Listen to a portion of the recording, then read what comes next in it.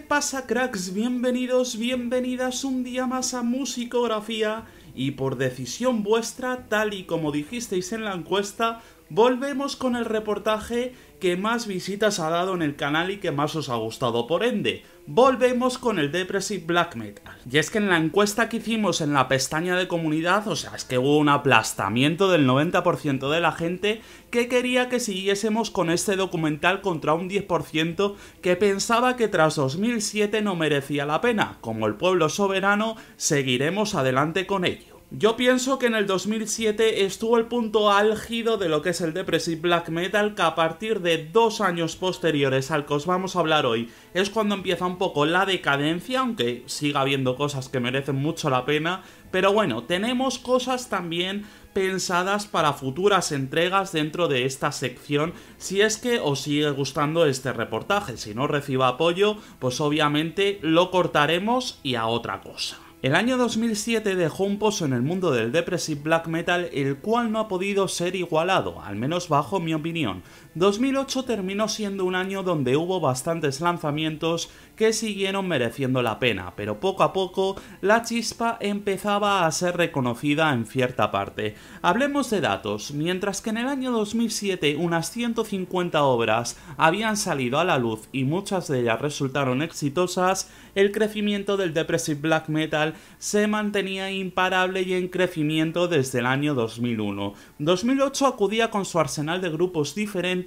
dispuestos a superar esa cifra. Al finalizar el año, 204 obras fueron las que trascendieron y siguieron marcando una crecida en las cifras de lanzamientos del propio género. Y aunque ahora sí que esté muy en auge el depressive black metal y mucha gente está hablando de ello y demás, para mí la época dorada fue en la década de los 2000. Ahí es donde está verdaderamente la potencia del Depressive Black Metal. Y aunque esto que vaya a decir ahora suena viejo carcamal, lo cierto es que lo de antes era mucho mejor que lo de ahora, que no tiene pues tanta textura como tenía antes, como vais a ver y como habéis visto en anteriores entregas. Y bueno, como ya sabéis, por aquí nos gusta hacer las cosas por orden cronológico, por lo tanto, como en las anteriores entregas, 2008 va a estar dividido pues en orden cronológico, por lo tanto vamos a ir desde enero hasta diciembre, obviamente.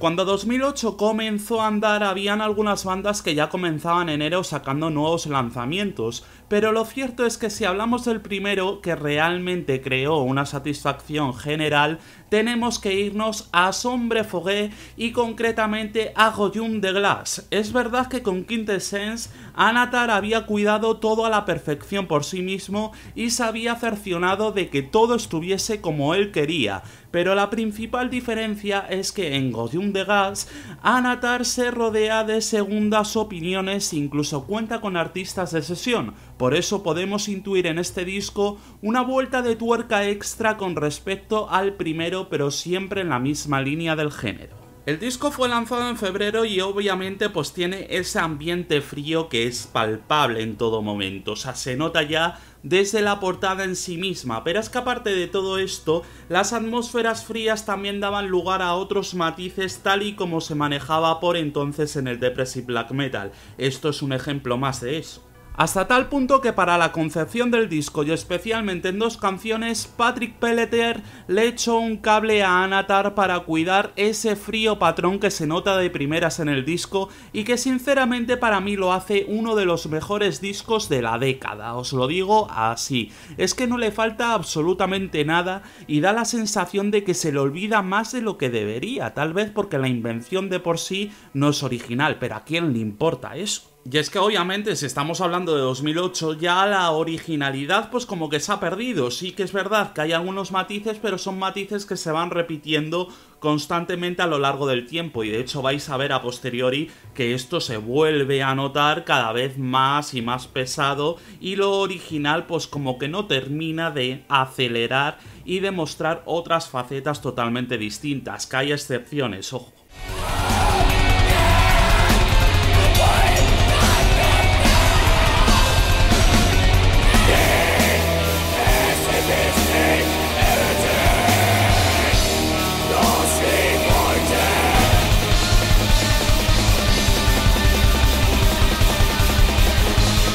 El año comenzó lento, los discos no parecían carburar, pero en mayo llegó el que para un servidor es la joya de la corona del año 2008. Nostalgia ya habían fabricado un LP debut que fue una auténtica barbaridad como ya comentamos, pero lo de Pace y Thanatos es de esas cosas que a uno se le quedan grabadas en la mente. Y de hecho sucede una cosa muy curiosa con Nostalgia que es esencialmente visible en este segundo trabajo. Y es como, al igual que otros proyectos de la talla de Daylight o Shining, juguetean con un depressive black metal que también se mete en otro sonido más moderno del black metal, por lo que no es un depressive puro y duro como en los orígenes. Es más, en el caso de Nostalgia, también se pueden interpretar unos pasajes atmosféricos, un apoyo en la, en la melodía, pues innegable, como ordena canciones de la talla de Necrolog, y la sensación de estar flotando por un disco que se mueve por toques distintos y matices bastante visibles. Y es una forma maravillosa de redondear lo que es la corta carrera de Nostalgia que nos dejaron dos discazos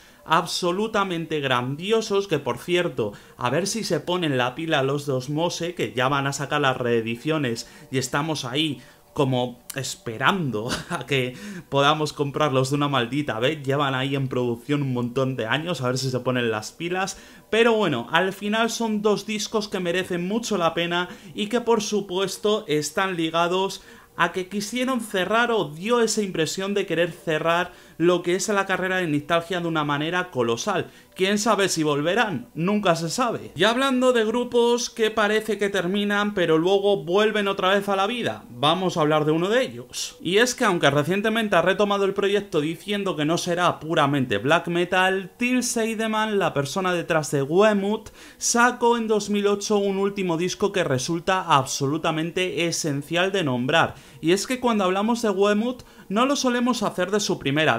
que resulta más bien un ejercicio experimental, más bien nos centramos directamente pues en lo que es el disco homónimo que da la sensación de haber pasado bastante desapercibido, todo hay que decirlo, pero es que en su época tuvo bastante tirón y además fue bastante bien valorado, especialmente por esas guitarras que se salía del patrón de repetir melodías y que experimentaba mucho, o sea, hacía ahí cambios bastante interesantes, generaba mucha tensión y lo dotaba además de muchísima variedad. ¿Qué más se puede pedir? El disco al final tiene un rollo así muy de atmósfera, de leadings y demás, pero bueno, la verdad que resulta un ejercicio bastante interesante de observar y es uno de esos discos que yo metería dentro de una recopilación para que la gente viese cómo se hacía un Depressive de manera distinta, lo cual pues diferencia un poco de lo que comentaba anteriormente de que no había tantos matices. Este disco rompe un poco esa tónica. 2008 avanzaba veloz y hablando de grupos que vuelven y hablando también de Seedings, pues vamos a hablar de uno de los splits más importantes de este año. Que se juntasen dos bandas como los recién nombrados Lyrics y Austere, que ya sabéis que han vuelto a la actividad, solo traía consigo la buena noticia de esta unión con un disco que si bien dista de ser perfecto, es como poco digno de mención por el hecho de que dos pesos pesados del género se unan. De hecho, aunque sea raro porque ya sabéis que a mí me encanta Austere, creo que Lyrics están un poquito por encima en esta ocasión y se les nota muchísimo más creativos, añadiendo incluso cosas que habían dejado pasar en anteriores ocasiones como una variedad en los instrumentos bastante notoria. Y hablando de cosas que tienen relativa importancia, aunque dista de ser su mejor disco, Happy Days sacan 2008 dos discos, siendo Melancholic Memories el más reconocido pero no el mejor de su carrera, como ya veremos más adelante. Y que ya sabes qué tienes que hacer para no perdértelo, ¿verdad? Por aquí te dejo una pista de lo que tienes que hacer.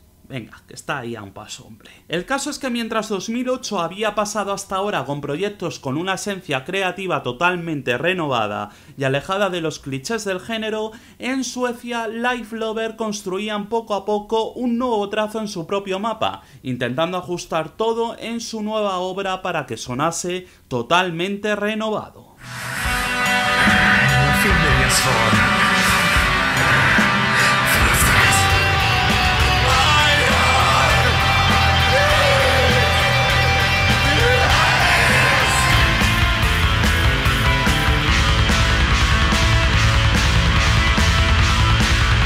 final ya venían de dos obras que habían sido totalmente experimentales, como siempre fueron Light Lover desde esa primera demo que al final pues está catalogada por ellos mismos como una sucesión de sonidos experimentales que se hizo, ya sabéis la historia y si no la conocéis tenemos un The Dissection donde hablamos de toda la historia de Life Lover y comentamos cómo se fraguó esa demo. Pero aparte de todo esto venían de hacer Pulver y venían de hacer Erotic, dos discos muy diferentes entre sí y ambos bastante experimentales. Vi era una persona que no le gustaba dar con la tecla y repetirla una y otra vez, por lo que en lugar de situarse en los mismos patrones de siempre, se salió de aquello creando el que probablemente sea el disco más complejo de la carrera de Life Lover, con un que en palabras del propio B suponía un cambio de la depresión a la felicidad intercambiándose entre sí los papeles, que al final es una fórmula que también se utilizó en Pulver, donde la melodía daba paso a un estado alegre en muchas ocasiones, mientras que la voz de Kim era de puro dolor. Aquí eso se interpreta con la música. Y es que la verdad que pensándolo un poco fríamente no sabría si quedarme con Paisita Natos de Nostalgia o quedarme con este concurso de Life Lover porque ambos discos juegan con patrones muy distintos y son discos que al final las emociones te las ponen siempre a flor de piel. Porque si avanzamos hasta los últimos coletazos del año 2008, nos podemos dar cuenta de que otras propuestas musicales parecían abrirse paso. Nocturnal Depression seguían abogando por un depressive black metal de corte clásico, aunque con muchísima presencia en las atmósferas, y aunque Reflections of a Sad Soul no resulta el mejor disco de los franceses, como poco hay que hablar del mismo como un disco construido de una forma más que correcta. Al final las atmósferas juegan un papel esencial en este tipo de música y muchas veces van de la mano. Ya lo hemos visto de hecho en muchísimos discos y nos lo encontramos aquí o también en el que para mí es el primer gran disco de Boost of Desolation, un Tower of the Dead que la verdad pues resulta una mezcla entre black metal atmosférico, los sonidos del black gaze o el soe gaze y también por supuesto el depressive en esa hipnosis constante a través de la música. Y es que si habéis ido viendo la evolución, sobre todo a partir del año 2005, las atmósferas juegan un papel esencial dentro de esta música. Si nos vamos a obras más primigenias, pues la verdad que nos encontramos patrones muchísimo menos distintivos en este aspecto y se le da más presencia a lo que es la labor vocal que por supuesto sigue siendo un papel vital dentro del depressive black metal en este año incluso a día de hoy. De 2008 se puede rescatar esa variedad de sonidos, aunque no sean tan legendarios ni marquen pozo como si ocurre en 2007, porque al final aquí se continúa el legado de algunas bandas y otras empiezan a meter la cabeza, como es el caso de unos Total Self Hatred que aunque en 2006 protagonizaron una demo, es con su disco homónimo con el que empiezan a ganar cierta relevancia siendo parte del roster de Ordo Decimus Peccatum, que habían sacado a mediados de año, ojo, el sepia de Portal.